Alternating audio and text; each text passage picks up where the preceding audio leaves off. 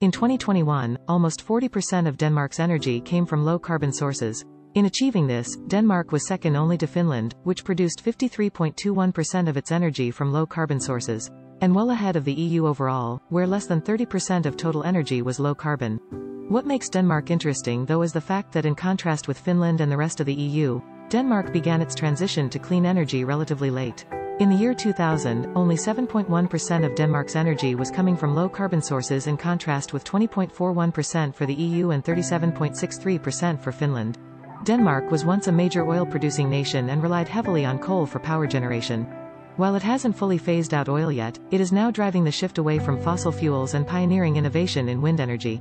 The country's coal phase-out, which has been legally mandated to happen by 2030, is also expected to take place earlier as both Ørsted, Denmark's leading energy company, and Fjernvarme FYN, Denmark's leading district heating utility, have announced accelerated coal phase-out plans. Denmark also has ambitious goals to cut greenhouse gas emissions by 70% by 2030, a move that would make Denmark one of the leading players, second only to Finland, which plans to be climate neutral by 2035, in the fight against climate change, not only in Europe, but even in the rest of the world. What enabled Denmark to make such a speedy transition and what can the rest of Europe, and the world, learn from Denmark's success? Denmark's success can be attributed to a range of social and political factors. It has long had stable and predictable energy policies with a high level of participation from both public and private actors. Denmark has also been one of the frontrunners in imposing carbon taxes, including taxes and policies to push the adoption of EVs, and also pioneered CO2 emissions trading for the power sector in 2000. All of this is scoured by Denmark's relatively flat social structure and high level of trust in Danish and public institutions, both factors that make policy making easier and more effective. Denmark also promotes energy efficiency in industry, and uses energy tax for enhanced decarburization in multiple sectors including transportation, Denmark has a long history of energy audits and energy savings advisory provided by local distribution companies.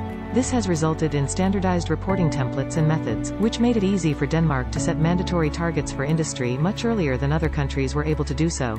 Due to its flexibility, simplicity and cost-effectiveness, the system has high rates of acceptance that have made it an overarching success. Denmark has also been willing to back technological innovation in green energy, which the Danish government has generously supported with public policy schemes turning Denmark into a global hub for wind energy innovation over time. New innovative projects are also currently on the horizon. These include large-scale carbon capture and sequestration and low-carbon energy islands of which the latter are particularly interesting. Denmark has a reliable, interconnected power grid that makes renewable energy easy to integrate into their existing network. It also makes it easy to export energy when wind is blowing and Denmark has more than it needs, and import it when there isn't enough. Lastly, Denmark also benefits from geography that makes it well equipped to develop its wind energy capabilities.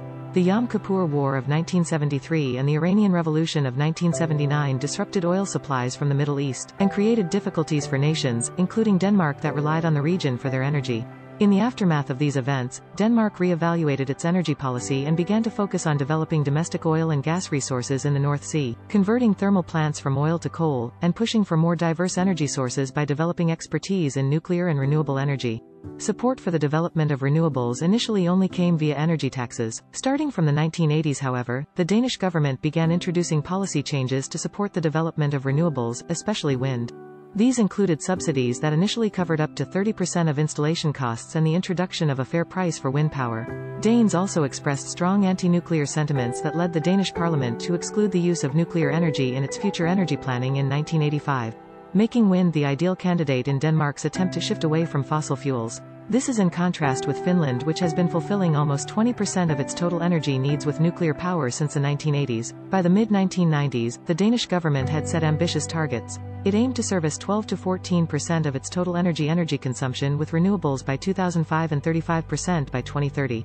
It also set up the Danish Energy Agency to take charge of the implementation of renewable energy policies.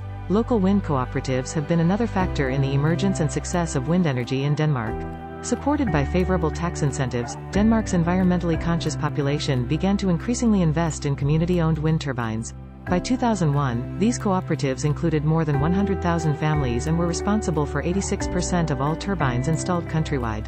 Cooperatives benefited from lower energy taxes and profit sharing from any electricity that was sold to the grid. This also ensured that the wind energy industry had a strong domestic market to depend on. However, despite strong growth in the 90s, wind energy slumped in the mid-2000s due to policy changes, showing just how much energy policy matters in the adoption of green energy. Even in otherwise environmentally conscious countries and how subsidizing new technologies in their early years can encourage the transition and result in increased technological advancement in the long run. The new government in the 2000s aimed to encourage competition in the renewable energy market and introduced policies that resulted in a significant decline in the premium wind power had previously enjoyed. This resulted in a rapid decline in wind power capacity and no new cooperatives were formed between 2003 and 2008 while many existing ones sold their assets. The stagnation ended in 2009 following a revival of political support for wind energy and a new policy mechanism based on an environmental premium on top of the market price and additional compensation for balancing costs was introduced. While these costs were initially passed on to the consumer, from 2022 onwards, funds for renewable energy projects will come from the Danish government which is also seeking to curtail the number of onshore wind turbines in favor of repowering them and encouraging further growth in offshore wind, a sector that has already taken off.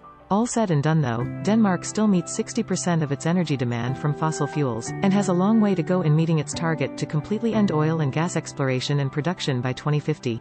However, Denmark has all the necessary tools it needs to succeed in its mission. The only question, I believe, is how quickly it will do so. According to Mordor Intelligence, Denmark's wind energy market is expected to have a compound annual growth rate of around 5% over the next few years. This will be driven by government goals and efforts to have low-cost, more sustainable, cleaner energy. A growing offshore market is also encouraging more companies to enter the industry.